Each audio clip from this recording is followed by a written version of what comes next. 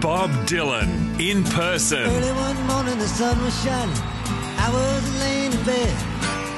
Bob Dylan and his band touring Australia this April. I ain't gonna work on Maggie's farm no more. Bob Dylan. Ah, you fake, just like a woman.